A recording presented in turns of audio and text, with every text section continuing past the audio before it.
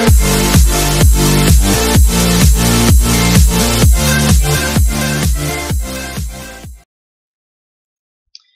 guys, welcome back to another video with Moby App Nation. So today I'm gonna show you how to um, generate your own um, AdMob ID. So this is a very simple process. So let's head on to AdMob. So you just have to type AdMob here. And then we're gonna pick the first one, the Google AdMob dash uh, mobile app monetization and in-app advertising. So now we're gonna sign into AdMob. If you don't have an AdMob account, um, we I recommend to um, register or sign up for an for an account and then just fill out the forms. Okay. After that, you can go directly or sign into your AdMob. Make sure you have a Gmail address, a valid Gmail address. So let me log in first.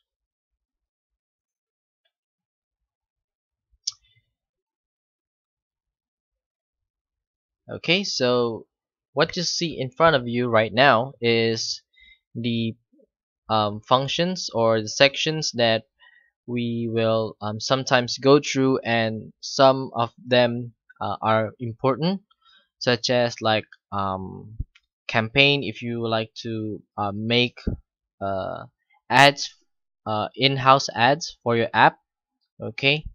And you can also look at your um, revenue okay? So this is um, a test account that I've generated okay?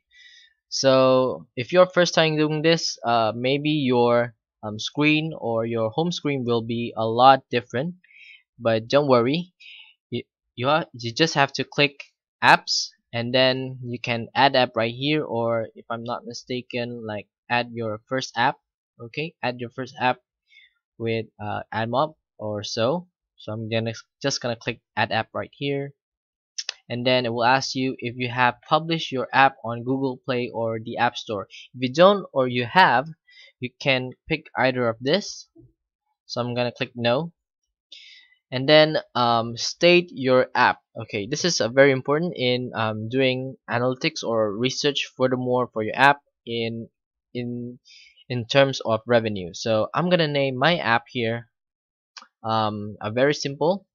I'm gonna name it as happy um, Christmas or happy birthday. Maybe happy birthday. Alright.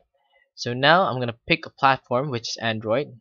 You can name your app a bit more specific. Maybe happy birthday frames or happy birthday photo app maybe. Okay. So I'm gonna click add. Now we'll show you the um, app ID so this is not the ad ID but the app ID okay so we don't have to copy this one. So I'm just gonna click create ad unit. And then it will show um, three types of um, ad format. Uh, the previous previous AdMob it gives uh, like four which is one is native but now it is obsolete. So it will now they give you like three ad format so okay so now I'm gonna pick an ad format. Um, I'm gonna pick interstitial for this one. Okay so I'm gonna click select.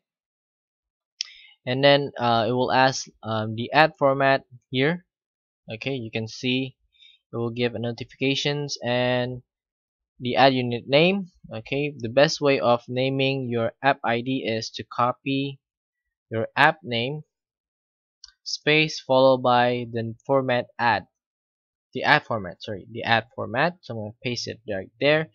So reason why so you can determine which um, ad format gives the best revenue for your app. After that just click create ad unit. And now you have your ad unit right here. Okay? So it will show you the indicator about the ad format which is uh, interstitial. And the ad ID which is right here. So if you're done creating an ID just click done. And we'll see it pops up like this. So I have created um, two more before. So all you have to do is just click copy right here and then it will copy to your clipboard. Okay? So you will see the difference of format right below the AdMob app ID okay? The AdMob's app ID so that's all. So I hope you enjoy the video. If you like it um, leave a like leave a thumbs up and subscribe to my channel. Thanks